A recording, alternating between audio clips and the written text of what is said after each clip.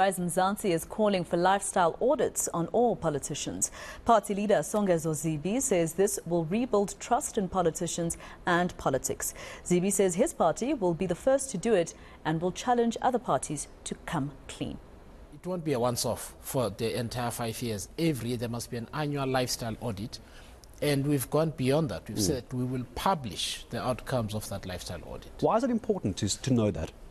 Because people have lost trust in politics. They think politicians are in it for the money. And I think it's important uh, that uh, members of the public and voters get to see whether politicians are earning any illicit income. Does the size of your house match the income that you're sure, getting. You sure. know, does the, the size of your car, you right, and the six mm. cars that you get. So the two have to match. And at Rise Mzansi, all of us will submit ourselves to lifestyle audits, and the and the outcomes will be made public. How do you force other political parties to do that? They might not be so open to it.